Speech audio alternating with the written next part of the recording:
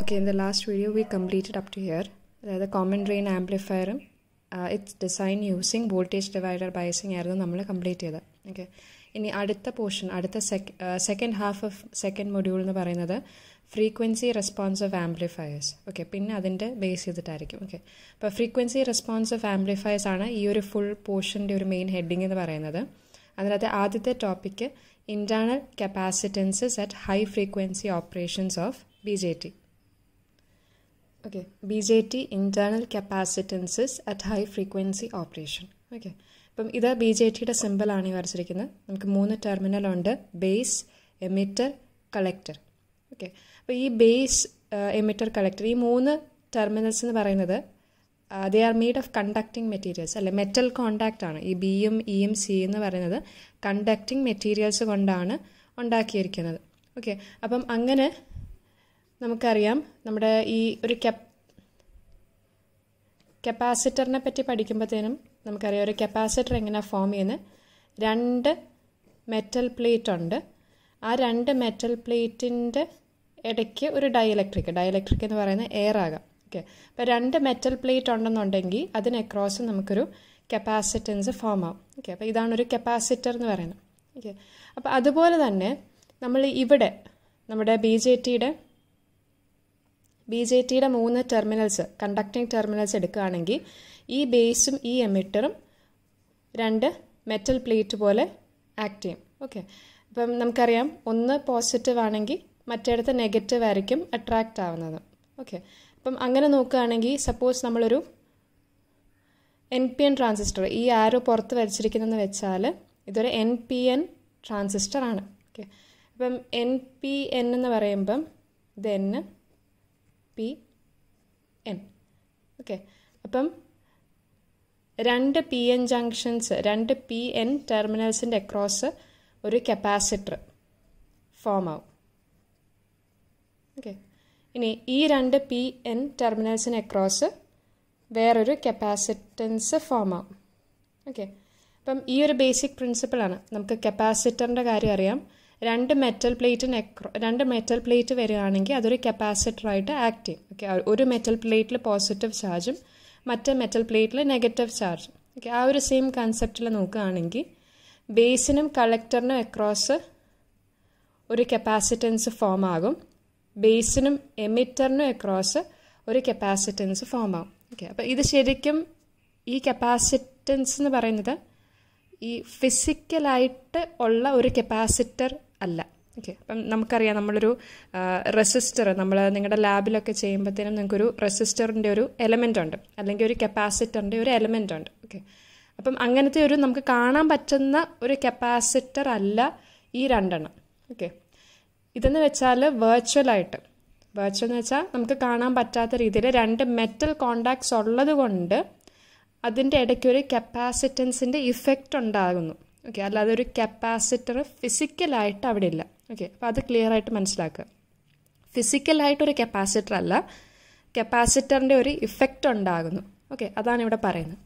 അപ്പം B J T has capacitance between each of its terminals because the terminals are made of conducting materials okay അപ്പം ശരിക്കും ഈ കളക്ടറിനും എമിറ്ററിനും എക്രോസും capacitance വരും. കാരണം ഏതെങ്കിലും ഒരെണ്ണം മോർ ഹയർ പൊട്ടൻഷ്യലായിരിക്കാം ഓക്കെ അപ്പം ചെറുതായിട്ട് ഈ കളക്ടറിന് എമിറ്ററിന് അക്രോസ് ഒരു കപ്പാസിറ്റൻസ് വരും. പക്ഷെ നമ്മളത് കൺസിഡർ ചെയ്യുന്നില്ല.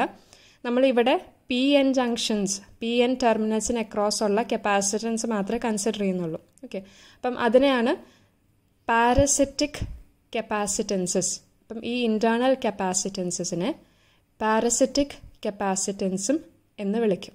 ഓക്കെ ഓക്കെ അപ്പം ഈ ബേസിനും കളക്ടറിനും എക്രോസ് ഡെവലപ്പ് ആവുന്ന കപ്പാസിറ്റൻസിന് സി മ്യൂ എന്ന് റെപ്രസെന്റ് ചെയ്യുന്നു. Okay so that is the capacitance of collector base junction okay ആ ജംഗ്ഷനിൽ ഫോം ചെയ്യുന്ന കപ്പാസിറ്റൻസ് ആണ് സി മ്യൂ ഇനി സി പൈയും അതുപോലെ തന്നെ ഒന്നെങ്കിൽ ഇങ്ങനെ എഴുതാം അല്ലെങ്കിൽ വേറെ രീതിയിൽ എഴുതാൻ പറ്റുന്നത് capacitance between base and emitter okay അപ്പം അല്ലെങ്കിൽ parasitic capacitance between base and emitter okay അപ്പം ഇവിടെ capacitance of collector base junction ആണ് സി മ്യൂ സി പൈ എന്ന് പറയുന്നത് ബേസും എമിറ്ററിന്റെയും ജംഗ്ഷന്റെ അവിടെ വരുന്ന കപ്പാസിറ്റൻസ് ആണ്.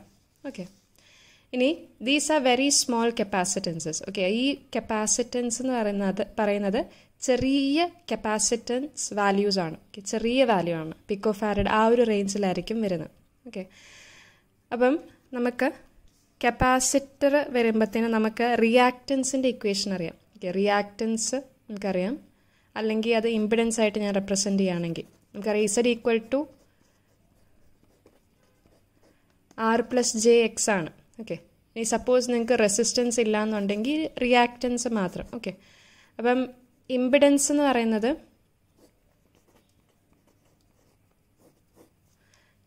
one by J omega C okay അപ്പോൾ കപ്പാസിറ്ററിന്റെ ഒരു കപ്പാസിറ്ററിന്റെ ഇമ്പിഡൻസിന്റെ ഇക്വേഷൻ എന്ന് പറയുന്നത് one by J omega C കപ്പാസിറ്ററിന്റെ ഇമ്പിഡൻസ്. ഓക്കെ ഇനി ഇവിടെ ജെ എന്ന് പറയുമ്പോൾ നമ്മുടെ ഇമാജിനറി കമ്പോണന്റ് ഒമേഗ എന്ന് പറഞ്ഞാൽ എന്താണ്? Frequency omega is equal to two pi F okay അപ്പോൾ ഫ്രീക്വൻസിയുടെ ടേമാണ് ഒമേഗ സി എന്ന് പറഞ്ഞാൽ എന്താണ്? കപ്പാസിറ്റൻസ് ഓക്കെ അപ്പോൾ നമ്മളിപ്പോൾ പറഞ്ഞു പാരസിറ്റിക് കപ്പാസിറ്റൻസസ് അല്ലെങ്കിൽ internal capacitance they are very small capacitance അതായത് സിയുടെ വാല്യൂ ഭയങ്കര ചെറുതാണ്. C is very small okay അപ്പോൾ സി ഭയങ്കര ചെറുതാണെങ്കിൽ എന്ത് പറ്റും? ഇമ്പിഡൻസ് ഇമ്പിഡൻസ് നല്ല കൂടുതലായിരിക്കും. ഓക്കെ അപ്പം ഇമ്പിഡൻസ് നല്ല കൂടുതലായിരിക്കും. ഓക്കെ ഇനി സപ്പോസ് നമ്മുടെ ഈ ഫ്രീക്വൻസി ലോ ഫ്രീക്വൻസി ആയിരിക്കാം അല്ലെങ്കിൽ മീഡിയം ഫ്രീക്വൻസി ആണെന്ന് വിചാരിക്കാം. ഓക്കെ ലോ ഫ്രീക്വൻസിയോ മീഡിയം ഫ്രീക്വൻസിയോ ആണെന്നുണ്ടെങ്കിൽ അതായത് ഒമേഗായും ചെറുതാണെന്ന് വിചാരിക്കുക. ഓക്കെ അപ്പം ഒമേഗായും ചെറുതാണെങ്കിൽ എന്ത് സംഭവിക്കും? ഇമ്പഡൻസിന്റെ വാല്യൂ ഭയങ്കരമായിട്ടും കൂടും. ഓക്കെ അപ്പം നമ്മൾ പഠിച്ചിട്ടുണ്ട് ഇൻഫിനിറ്റ് ഇമ്പിഡൻസ് അല്ലെങ്കിൽ ഇൻഫിനിറ്റ് റെസിസ്റ്റൻസ്. അല്ലെങ്കിൽ നമ്മൾ പറയും വെരി ഹൈ ഇമ്പിഡൻസ് ഉണ്ടെങ്കിൽ നമ്മൾ സാധാരണ അതിനെ ഓപ്പൺ സർക്യൂട്ടായിട്ടാണ് റെപ്രസെന്റ് ചെയ്യുന്നത്. ഓക്കെ നിങ്ങൾ പഠിച്ചിട്ടുള്ളതാണ് ഒരു സർക്യൂട്ട് ഓപ്പൺ ചെയ്യുമ്പം നമുക്കറിയാം അതിൽ കൂടെയുള്ള കറണ്ട് സീറോ ആണ്. കറണ്ട് സീറോ എന്ന് വെച്ചാൽ റെസിസ്റ്റൻസ് ഇൻഫിനിറ്റി അല്ലെങ്കിൽ റെസിസ്റ്റൻസ് വെരി ഹൈ ആയിരിക്കും. ഓക്കെ അപ്പോൾ അതിവിടെ തിരിച്ചു പറയാണ്. ഫ്രീക്വൻസിയും കുറവാണ്. കപ്പാസിറ്റൻസ് ഓൾറെഡി കുറവാണ്. പാരസിറ്റിക് കപ്പാസിറ്റൻസിന്റെ കേസിൽ സി ഓൾറെഡി കുറവാണ്. അതിന്റെ കൂട്ടത്തിൽ ഈ ഫ്രീക്വൻസിയും കുറവാണെങ്കിൽ ഫ്രീക്വൻസിയും കുറവാണെങ്കിൽ ഇമ്പിഡൻസ് എന്ന് പറഞ്ഞാൽ it will be a very high value ഈ കപ്പാസിറ്റീവ് ഇമ്പിഡൻസ് എന്ന് പറയുന്നത് ഒരു വെരി ഹൈ വാല്യൂ ആയിരിക്കും. അങ്ങനെ വരുമ്പം ഇതിന്റെ ഇഫക്റ്റ് സീറോ ആകും. അതായത് ഇങ്ങനെ ഒരു കപ്പാസിറ്റൻസ് അവിടെ ഫോം ആകത്തില്ല. Okay so the impedance at low and moderate frequency is large okay അപ്പം ഈ ഒമേഗ സി എന്ന് പറയുന്നത് ഭയങ്കര ചെറുതായിരിക്കും. അപ്പം ഈ ഇസഡ് സി എന്ന് പറഞ്ഞാൽ കൂടുതലായിരിക്കും. Okay so they will act as open circuit and won't affect the circuit അപ്പോൾ ബി ജെ ടീനെ ഈ പാരസിറ്റിക് കപ്പാസിറ്റൻസ് എഫക്റ്റ് ചെയ്തില്ല കാരണം ഇത് ഓപ്പൺ ആയിട്ട് ആക്ട് ചെയ്യും. അതായത് ഇതിന്റെ ഇഫക്റ്റ് ഇല്ലാതാവും. ഓക്കെ ഇനി അതേസമയം സപ്പോസ് ഈ ഫ്രീക്വൻസി ചെറുതല്ല കൂടുതലാണെന്ന് വിചാരിക്കുക. ഓക്കെ ഹയർ ഫ്രീക്വൻസിയിൽ എന്ത് സംഭവിക്കുമെന്ന് നോക്കാം. ഓക്കെ അപ്പം നമ്മുടെ ഇക്വേഷൻ എന്താ പറഞ്ഞത് Z C equal to one by J omega C capacitance കുറവാണ്.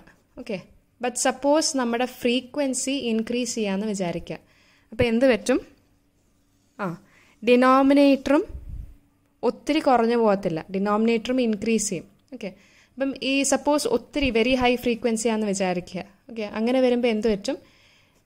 ഇത് ഒമേഗ സി എന്ന് പറയുന്നത് ഇതിനെക്കാട്ടിലും കൂടും. ഓക്കെ ഇൻക്രീസ് ചെയ്യും. ഓക്കെ അങ്ങനെ ഇൻക്രീസ് ചെയ്യുമ്പം ഇമ്പിഡൻസിന് എന്ത് പറ്റും? കുറയും. ഓക്കെ അപ്പോൾ ഇമ്പിഡൻസ് കുറയുമ്പം ഈ കപ്പാസിറ്ററിന്റെ ഇഫക്റ്റ് സർക്യൂട്ടിൽ വരുന്നു. Okay at higher frequencies capacitor impedance reduces and the parasitic capacitances will affect the circuit okay ഇതിന്റെ ഇമ്പിഡൻസ് ഈ കപ്പാസിറ്റീവ് റിയാക്റ്റൻസ് അല്ലെങ്കിൽ പാരസറ്റിക് കപ്പാസിറ്റൻസിന്റെ ഇമ്പിഡൻസ് ഹൈ നല്ല ഹൈ ആണെങ്കിലേ ഉള്ളൂ. നമുക്കത് ഓപ്പൺ ആക്കി വെക്കാൻ പറ്റത്തുള്ളൂ. ഓക്കെ? ഭയങ്കര ഹൈ അല്ല. കുറവാണെന്നുണ്ടെങ്കിൽ അതിന്റെ ഇഫക്റ്റ് കൺസിഡർ ചെയ്യേണ്ടി വരും. ഓക്കെ? അപ്പം പാരസറ്റിക് കപ്പാസിറ്റൻസ് വരുന്നത് ഹൈ ഫ്രീക്വൻസിയിലായിരിക്കും അതുകൊണ്ട് തന്നെ ഹെഡിങ് അങ്ങനെ തന്നെ കൊടുത്തിരിക്കുന്നത്. B J T internal capacitances at high frequency operations okay? Low ഫ്രീക്വൻസിയിൽ നമ്മുടെ ഇന്റേർണൽ കപ്പാസിറ്റൻസ് അല്ലെങ്കിൽ പാരസറ്റിക് കപ്പാസിറ്റൻസിന്റെ ഇഫക്റ്റ് നമുക്ക് നിഗ്ലക്റ്റ് ചെയ്യാം. പക്ഷേ ഹൈ ഫ്രീക്വൻസി വരുമ്പോഴത്തേനും ഈ ഇന്റേർണൽ കപ്പാസിറ്റൻസിന്റെയും അല്ലെങ്കിൽ പാരസിറ്റിക് കപ്പാസിറ്റൻസിന്റെ ഇഫക്റ്റ് ഉണ്ടായിരിക്കും. ഓക്കെ അപ്പോൾ അത് സർക്യൂട്ടിനെ അഫക്റ്റ് ചെയ്യും. ഓക്കെ ഇനി എങ്ങനെ അഫക്റ്റ് ചെയ്യുന്നതാണ് ഇവിടെ ഈ ബ്രാക്കറ്റിൽ കൊടുത്തിരിക്കുന്നത്? അതായത് കൂടുതൽ ചോദിക്കുകയാണെന്നുണ്ടെങ്കിൽ നിങ്ങൾ ഈ ഒരു പോർഷൻ പറയണം. ഓക്കെ ഇത് മനസ്സിലാക്കി വെക്കുക. അതായത് നമുക്ക് B J T common emitter മോഡിൽ നമ്മൾ കണക്ട് ചെയ്യുമല്ലോ. അതായത് എമിറ്റർ കോമൺ ആണ്. ബേസിനും എമിറ്ററിനും അക്രോസ് ആണ് നമ്മൾ ഇൻപുട്ട് അപ്ലൈ ചെയ്യുന്നത് അല്ലേ? കളക്ടറിനും എമിറ്ററിനും അക്രോസ് ആണ് നമ്മൾ ഔട്ട്പുട്ട് എടുക്കുന്നത്. ഓക്കെ അപ്പം ഇങ്ങനെ സർക്യൂട്ട് വരുമ്പോഴത്തേനും സപ്പോസ് നിങ്ങളുടെ ഈ പാരസറ്റിക് കപ്പാസിറ്റൻസ് എവിടെ ഉള്ള? ബേസിനും എമിറ്ററിനും അക്രോസ് ആണ് സി പൈ ഒരു പാരാ പാരസറ്റിക് കപ്പാസിറ്റൻസ് വരുന്നത്. അതായത് ബേസിനും എമിറ്ററിനും അക്രോസ് ഓക്കെ അപ്പോൾ എന്ത് പറ്റുമെന്ന് വെച്ചാൽ നമ്മൾ കൊടുക്കുന്ന ഇൻപുട്ട് സിഗ്നലിലെ കുറച്ച് ഭാഗം ഇങ്ങനെ ബേസിൽ നിന്ന് നമ്മുടെ ട്രാൻസിസ്റ്ററിലോട്ട് പോകാതെ ബി ജെ ടിയിലോട്ട് പോകാതെ ഗ്രൗണ്ടായി പോകുന്നു. അതായത് ലോസ്റ്റ് ആയി പോകുന്നു. ഓക്കെ അപ്പം കുറച്ച് ഇൻപുട്ട് ഈ സി പൈ ബേസ് എമിറ്ററിന്റെ അക്രോസ് ഉള്ള പാരസറ്റിക് കപ്പാസിറ്റൻസിൽ കൂടി ലോസ് ആകുന്നു. ഓക്കെ അപ്പം അതൊരു ഡിസഡ്വാന്റേജ് ആണ്. ഇനി വേറെ ഒരെണ്ണം എന്താ പറഞ്ഞ്? നമ്മുടെ സി മ്യൂ സി മ്യൂ എന്ന് പറയുന്ന ഏതും ഏതും തമ്മിലാണ് കണക്ട് ചെയ്യുന്ന ബേസും കളക്ടറും ഓക്കെ അപ്പം ഇങ്ങനെ കളക്ട് ചെയ്യുമ്പം നമ്മുടെ ഔട്ട്പുട്ട് ടെർമിനലും ഇൻപുട്ട് ടെർമിനലും തമ്മിലുള്ളൊരു കണക്ഷൻ കൊടുക്കുകയാണ്. അതായത് ഒരു ഫീഡ്ബാക്ക് നമ്മൾ ഡീറ്റെയിൽഡായിട്ട് ഫീഡ്ബാക്ക് അടുത്ത മുടിയുള്ള പഠിക്കും. ജസ്റ്റ് ഒന്ന് മനസ്സിലാക്കിയാൽ മതി. ഔട്ട്പുട്ടിൽ നിന്ന് ഒരു കണക്ഷൻ നമ്മൾ ഇൻപുട്ടിലോട്ട് കൊടുക്കുന്നുണ്ടെങ്കിൽ അതിനെ ഫീഡ്ബാക്ക് എന്നാണ് വിളിക്കുന്നത്. ഓക്കെ അപ്പം ഇങ്ങനെ വരുമ്പോഴത്തേന് എന്താ സംഭവിക്കുന്നത് വെച്ചാൽ ഇതിന്റെ ഫീഡ്ബാക്ക് കൊടുക്കുന്നത് ഇറ്റ് ഇസ് സച്ച് ദാറ്റ് ഈ ഇൻപുട്ടിനെ കുറയ്ക്കുന്ന ടൈപ്പിലുള്ള ഒരു ഫീഡ്ബാക്കാണ് കൊടുക്കുന്നത്. അങ്ങനെ വരുമ്പം ഇഫക്റ്റീവ് ഇൻപുട്ട് എന്ന് പറയുന്ന കുറയും. അത് കാരണം ഔട്ട്പുട്ട് കുറയും.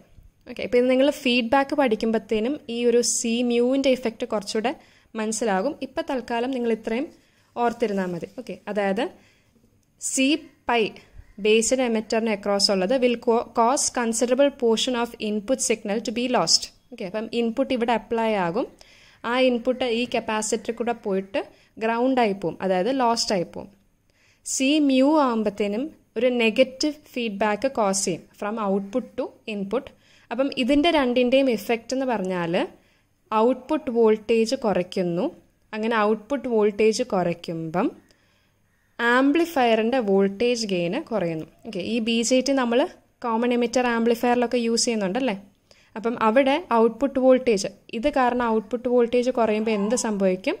ആ ആംപ്ലിഫയറിന്റെ വോൾട്ടേജ് ഗെയിൻ കുറയുന്നു. ഓക്കെ അപ്പം ഇതാണ് B J T internal capacitance at high frequency operation അപ്പം പാരസിറ്റിക് കപ്പാസിറ്റൻസ് എന്താണെന്ന് പറയുക ഈ രണ്ട് കപ്പാസിറ്റൻസ് വരച്ചിട്ട് അതെന്താന്ന് പറയുക പിന്നെ ലോ ഫ്രീക്വൻസിയിൽ അതിന്റെ ഇഫക്റ്റ് നെഗ്ലക്റ്റ് ആവും. ഹൈ ഫ്രീക്വൻസിയിൽ വരുമ്പോഴാണ് അതിന്റെ ഇഫക്റ്റ് ഉണ്ടാകുന്നത്. ഓക്കെ